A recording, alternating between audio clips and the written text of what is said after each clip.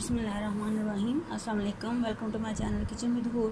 Kitchen with Hoor में आप सबका बेहद खुश आमदीद कहती हूँ और सबका बहुत शुक्रिया अदा करती हूँ जो डेली को जो वीडियो को डेली पसंद करते हैं वॉच करते हैं ठीक है? और नए आने वालों को भी बेहद शुक्रिया अदा करती हूँ ठीक है? और आप आपसे रिक्वेस्ट करती हूँ कि आपने आप बेल आइकॉन का बटन को ज़रूर प्रेस किया करें ताकि आने वाली वीडियो की नोटिफिकेशन आपके साथ आपके साथ जल्द अज जल्द पहुँच जाया करें ठीक है? मैं आप, आपके लिए बहुत ही बेहतरीन और कारामद वीडियो लेके आई हूँ। आज किचन धूल में जो गर्मी से रिलेटेड है इस रमज़ान में आप बनाएँ, इसके बाद भी आप बना सकते हैं। ठीक है, ये एक शरबत की रेमेडी है जो बहुत रेसिपी है, जो बहुत ही ज़बरदस्त और बहुत ही टेस्ट टेस्ट के लिहाज से भी बहुत ज़बरदस्त है। ठीक है तो जी चलते हैं इस, इसको बनाने के लिए, हम किन किन अशिया की ज़रूरत होगी, मैं आपको बताती हूँ। ठीक है, सबसे पहले हमें चाहिए होगी इमली। ठीक है? इमली आपको पता ही है कितनी ही ज़्यादा फ़ायदेमंद है और कितनी ही ज़्यादा हमारे स्किन से रिलेटेड हमारे हमारे बॉडी के हर पूरे निज़ाम के लिए बेहतरीन एक चीज़ है। ठीक है? हमारे स्किन पर जुड़ियाँ जुड़ियाँ नहीं आने देती, स्किन को फ्रेश रखती है और रंग को फेयर करती है। ठीक है? मैदे में गर्मी नहीं होने देती, गर्मियों में तो इसका ज़रूर इस्तेमाल करना चाहिए। ठीक है? और ये है खुशक धनिया जिसको हम छोटे छोटे ये लगते तो कह, कहने को तो ये छोटे छोटे बीज हैं कि ये ये क्या कारामद होंगे ये बहुत ही ज़बरदस्त और बहुत ही फ़ायदे की चीज़ है ठीक है? अगर हम इनका इनके फ़ायदे बताने बैठ जाएँ तो एक आध वीडियो बहुत कम है मगर इन इनके फ़ायदे बहुत ही ज़्यादा हैं ठीक है? ये जिसम की गर्मी को भी दूर करता है ठीक है? और वैसे भी ये हमारे निज़ाम हज़म के लिए बेहतरीन चीज़ है ठीक है? और इसको जब हम बनाने बनाने के लिए जो बनाने का मैं आपको तरीका बताती हूँ। इसके लिए मुझे एक चाहिए एक पैन लूँगी उसमें मैंने एक गिलास पानी डाला है। सिर्फ़ एक गिलास पानी डाला है नॉर्मल और इसमें मैं ये मेरे पास खुशक धनिया है, है? ये खुशक धनिया मैं लेने लगी हूँ एक टेबल स्पून एक टेबल स्पून ठीक है? और ये मेरे पास इमली थी दो टेबल स्पून इसको मैंने थोड़ा सा बॉयल डलाया ठीक है? और फिर इसको मैंने हाथों से मसल के इसका ये पल्प तैयार हो गया अब इसको हम इसको भी हम इसमें शामिल कर देते हैं। ठीक है? अब जब ये पक जाएगा, मैं आपको बताऊँगी इसकी क्या कंडीशन आई है और फिर हमने इसमें क्या ऐड करना है और किस तरह इसको पीना है। फिर मैं आपको दिखाती हूँ, ठीक है?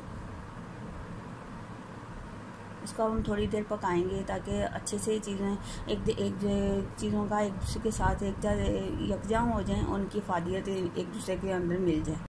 ये देखें जी, जो हमने जो खुशक धनिया और इमली का जो हमने पानी को जो बॉयल दिलाना था, वो दिला लिया। अब हम इसको स्ट्रेन कर लेंगे, ये देखें। ठीक है? हमारा शरबत जो है तैयार हो गया अच्छे से।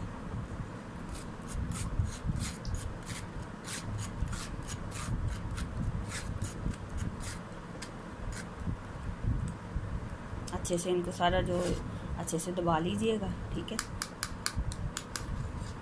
ये करते हैं हम साइड पे अब हम इसमें ऐड करते हैं शक्कर। अगर आपके पास शक्कर नहीं है तो आप उसमें गुड़ भी ऐड कर सकती हैं। चीनी ना इस्तेमाल कीजिएगा ठीक है?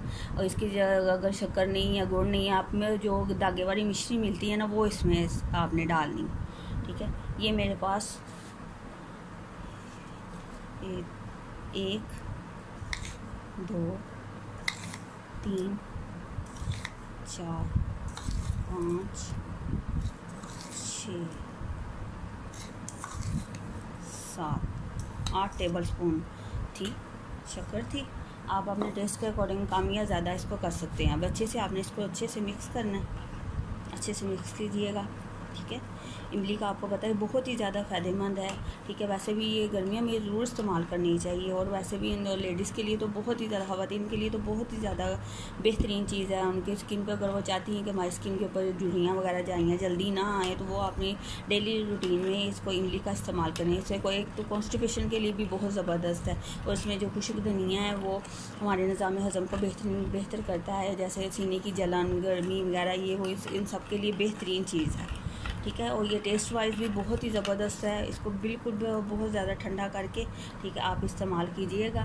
बहुत ही अच्छा बहुत ही टेस्टी है। ठीक है? और बच, बच्चों को दीजिएगा। इसमें ज़रा भी फील नहीं होता कि हमने इसमें खुशक धनिया वगैरह डाला जाए होता है ना कि इसकी स्मेल आ रही है।